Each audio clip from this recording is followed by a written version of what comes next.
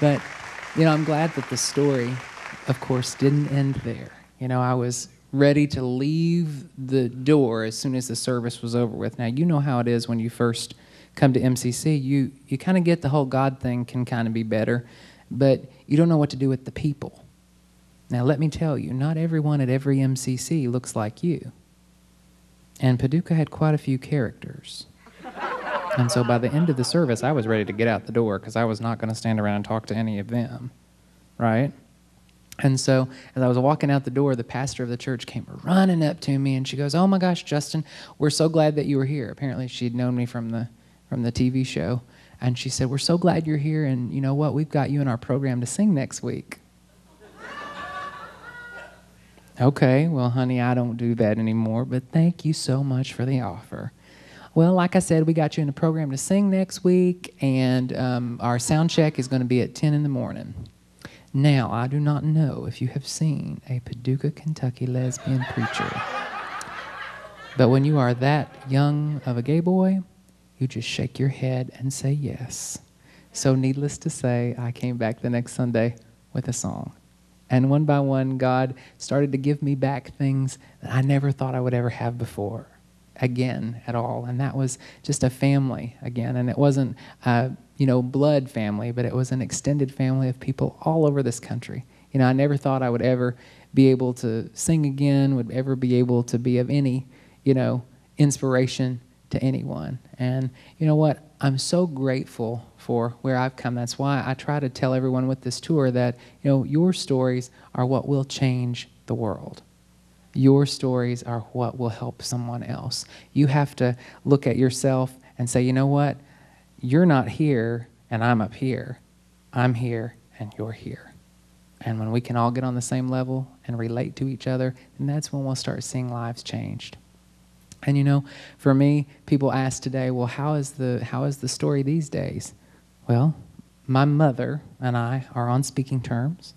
In the last year, it's gotten better. Still not where it should be, but it's getting there. Now, my father will never, ever, ever, ever, ever be okay with me. In fact, one time when I came to town, he, uh, you know, you see people you haven't seen in a while and you get two reactions. It's either they run up to you and go, oh my gosh, it's so good to see you, or they run this way and turn their head like they never saw you. Well, people would stand there with their mouths open. How did, what, what is that kind of response is that? So finally, I saw a girl I went to school with, and I said, why are you standing there like that? And she goes, well, I just can't believe you're here. I said, Well, what's going on? She said, Well, your dad is the music director at our church. I said, Feel sorry for you. And she's like, Yeah. And the other Sunday, he got up and talking about his family, and you know, he told the congregation that he had one son. Thinking, well, last time I checked, he had two. She said, Well, you know, after it was over with, her mother had gone up to my father and said, You know, I know that Justin and Jenna went to school together. Whatever happened to Justin? My father looked her point blank in the eye, and I guess this was his way of, you know, letting her know that I was gay making her feel sorry for him, and at the same time associating the only thing that he could associate with being gay, all in the same foul swoop. And he said, Oh, hadn't you heard? He died of AIDS. And so people had thought I had died. Now, I came real close that Sunday to going, showing up at his church. And when they asked for prayers and praises, I wanted to stand up and go, He arose. it would have been a different kind of Easter, right? But, you know, it's important that we share our stories. It's important that we remember where we've come from because we have survived for a reason. We have come through it for a reason. And not only is it important to share our stories, but it's also important to share the story of Christ, the story of God with everyone, so that they know that even when they feel alone, there's someone there who wants to be with them as well.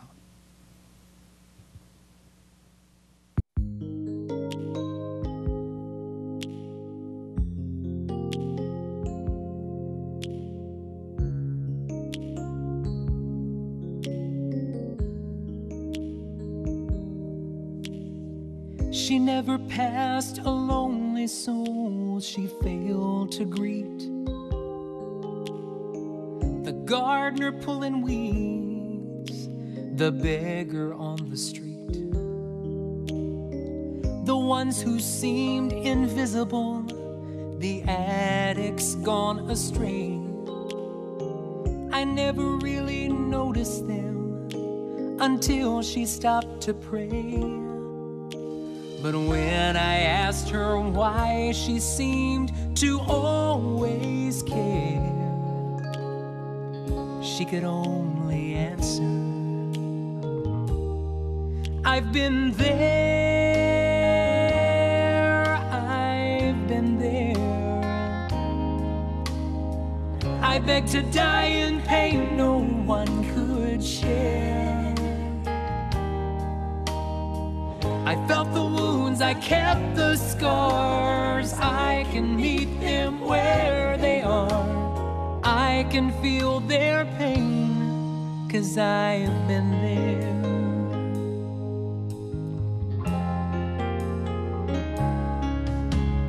So many times I see the tears fill wounded eyes. Someone has thrown them out, the world has told them lies. They feel they are invisible, their hearts have grown so hard. Afraid God has abandoned them because of who they are. Jesus, how can you reach through such despair? But then I hear you answer I've been, there, I've been there. I beg to die in pain no one could share. I felt the wounds, I took the scars. I can meet them where they are. I can feel their pain, cause I have been it took the cross, took the cross, it took the shame, all the shame. it took my blood so you would know. I felt your pain. I've been there,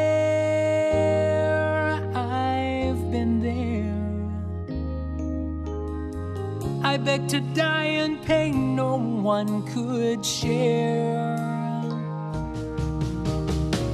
I felt the wounds, I took the scars. I can meet you where you are. I can heal your pain, cause I've been there. Christ says, don't leave before you say one simple